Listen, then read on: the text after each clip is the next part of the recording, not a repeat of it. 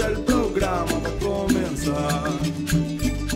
Super Panas, la radio. Hola, hola mis panitas, soy Loli Camacho y está comenzando otro Super Panas Najayo. Super Panas Najayo es una iniciativa de UNICEF en Brasil y es una continuación de las actividades desarrolladas por las organizaciones socias de UNICEF con niños y adolescentes venezolanos que viven en refugios y ocupaciones en Boavista, Pacaraima, Manaus, Belén y Santarém. Porque si somos superpanas, somos amigos, somos la misma gente. ¿Cómo ustedes están, mis queridos? ¿Preparados para un nuevo programa lleno de diversión y conocimiento? Entonces, ¿vamos a comenzar? Superpanas Najario.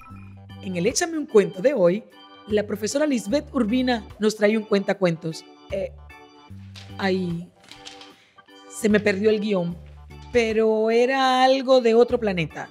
Lisbeth, ¿qué cuento es el que nos traes hoy? ¡Échame un cuento!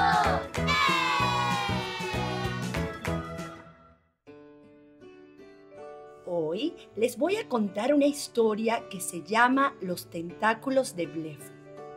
Es de las autoras Eva Clemente y Teresa Arias.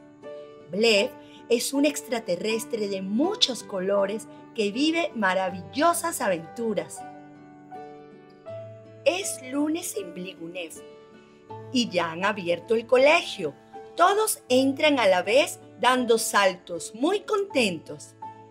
Pero, oye, espera un momento. ¿Dónde se ha metido Blef? Ha entrado sin decir nada. Ni siquiera el profesor. Lleva la bufanda a rastras y se va solo a un rincón.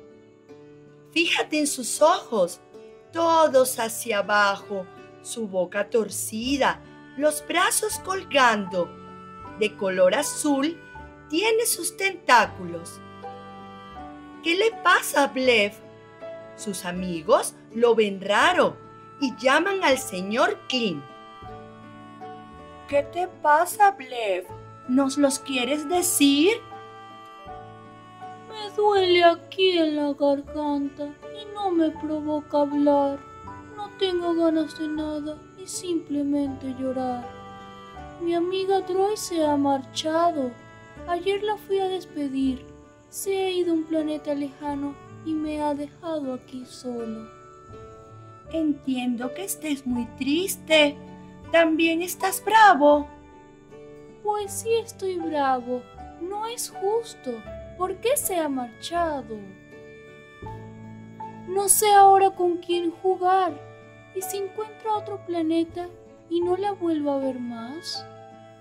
Lo que sientes es normal. Ven. ¿Necesitas llorar?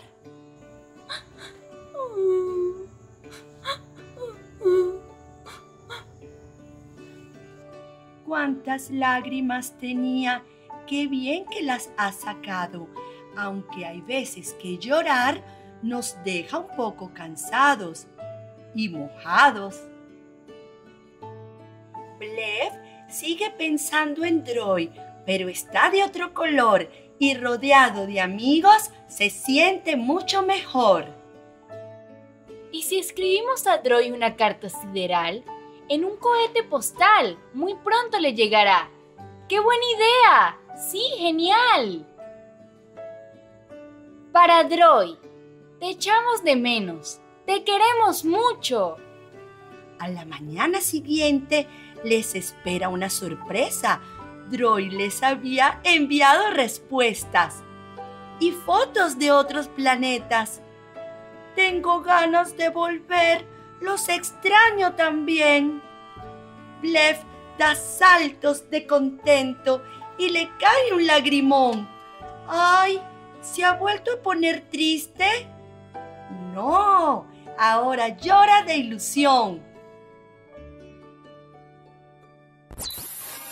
Super Panas Najadio. ¿Quién nunca se entristeció y hasta lloró por estar lejos de personas amadas? Cierto que a todos nos ha pasado. Pero cuando llega el momento de reencontrarse, aquello es un río de alegría que se desborda hasta llorar, pero llorar de pura felicidad. yo también estoy lejos de mucha gente que amo, de familia y amigos que por ahora no podemos compartir juntos. Ya hasta mandé cartas por todas las vías posibles para algunos con que está difícil comunicarme, pero aún no recibí respuestas de ellos. Es que la tristeza es un sentimiento común entre nosotros los seres humanos. Son esos momentos en que nos sentimos sin ánimo de nada, ni para jugar, ni conversar con los amigos. Pero quien nos puede explicar mejor lo que es la tristeza es la psicóloga Gabriela Almeida. Hola Gabi, nuestros panas te saludan. ¿Cómo estás? Olá, meus amiguinhos. Espero que todos estejam super bem. Porém, hoje eu estou um pouco triste. Mas não fique preocupados. A tristeza é um sentimento natural de qualquer ser humano. É um sentimento genuíno, ou seja, um sentimento verdadeiro que é comum em todos nós. A tristeza é a diminuição da nossa alegria. Ela faz com que o nosso ânimo perca suas forças e muitas vezes ficamos sem motivação. Esse sentimento ocorre quando perdemos alguém que gostamos, quando perdemos algo ou quando saímos da, da nossa cidade. Enfim, cada pessoa terá o seu motivo para ter essa tal tristeza. A tristeza, ela nunca aparece sozinha. Ela sempre convida algumas outras emoções e outros comportamentos. Ela convida a insegurança, a incerteza e às vezes até mesmo a culpa. Esses convidados da tristeza podem apresentar também em formas de comportamento, como por exemplo, não sentir vontade de estudar, sem vontade de brincar e até mesmo chorar. Porém, a tristeza, ela é como nuvens carregadas de chuva. Ela precisa liberar toda a sua água para surgir um belo arco-íris. Mas lembre-se, a tristeza às vezes pode trazer um grande vazio no coração. E se isso acontecer, procure sempre conversar sobre ela. Quanto mais a gente fala da tristeza, mais ela vai ficando bem pequenininha. Mas se a tristeza insistir em ficar muito longa, procure sempre conversar com o psicólogo da nossa equipe de proteção. Então, pessoal, por hoje é só.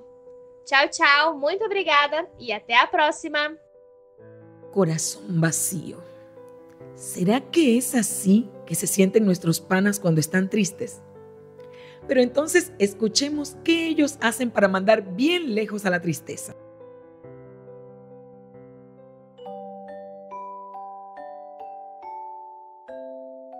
Cuando estoy triste.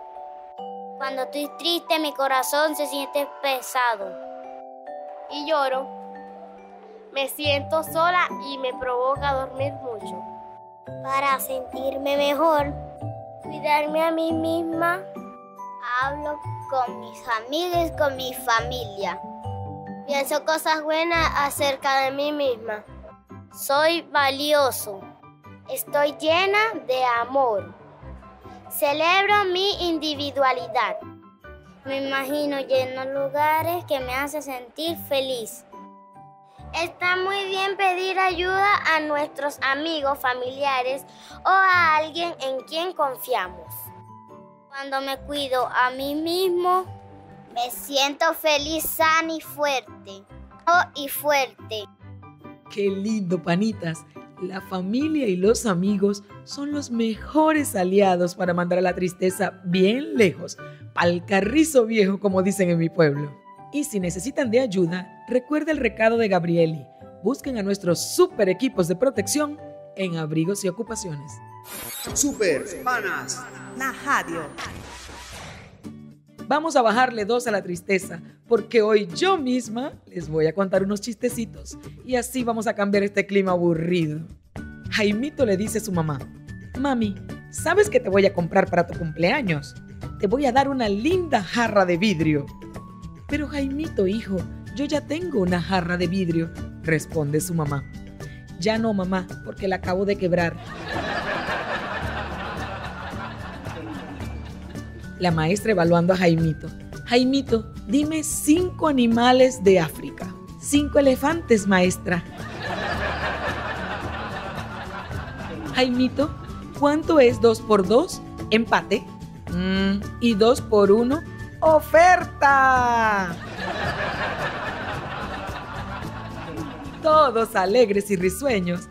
Entonces vamos a continuar nuestro programa para hablar de otros sentimientos. Es decir, aprender cómo expresar sentimientos, pero en portugués. Las profesoras Lesa Cristina y Julibet Carpintero nos van a ayudar. Hola chicos y chicas, soy la profesora Julibet Carpintero y quien me acompaña la profesora Lesa Cristina. Hoy les vamos a hablar sobre los sentimientos. Vocês conhecem os nomes dos sentimentos em português? Acho que em espanhol sim. Não é mesmo, Francesca e Keidimar? Profesora Alexa, ¿cómo se dice entusiasmado en portugués? Francesca, entusiasmado quer dizer quando a gente está muito empolgado, entusiasmado mesmo em português. Profesora Alexa, cuando a mí me dan un regalo estoy muy feliz. ¿Cómo es- digo eso en portugués? Keidimar, quando você ganha um presente, você fica muito feliz. Y cuando las cosas no salen como yo quiero y siento rabia, ¿cómo digo eso?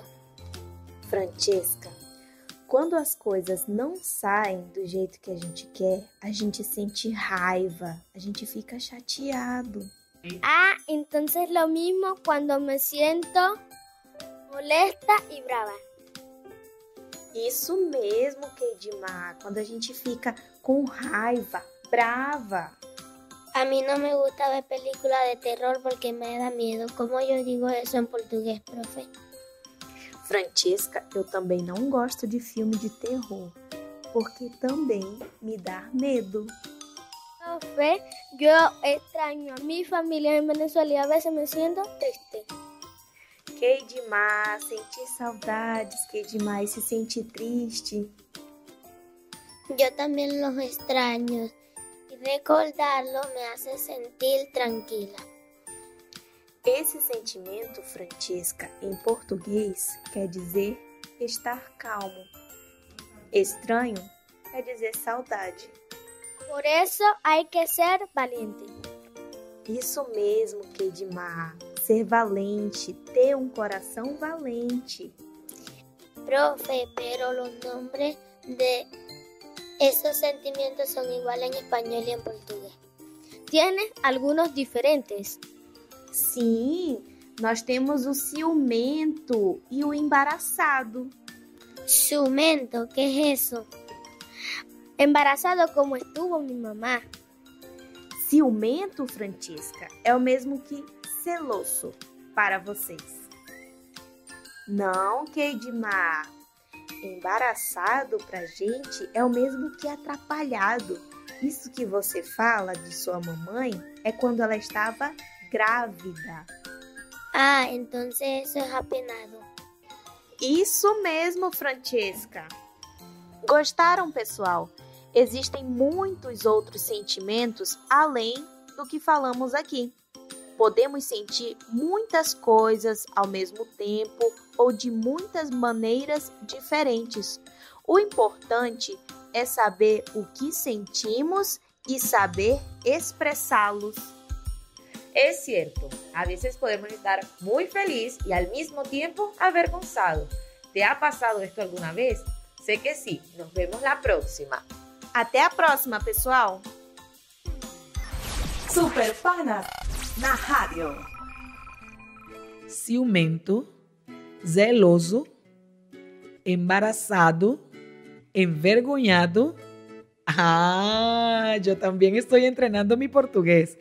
Es que definitivamente este Super Panas na Rádio es un programa para que todos aprendan independientemente de la edad que tengas. Super Panas na rádio. Nuestro programa está llegando a su final por el día de hoy. Au. Pero no, no vamos a ponernos tristes. No, no, no, no, no, no, no. Porque en poquito vuelvo con más de Super Panas Najayo. Adiós. Super Panas.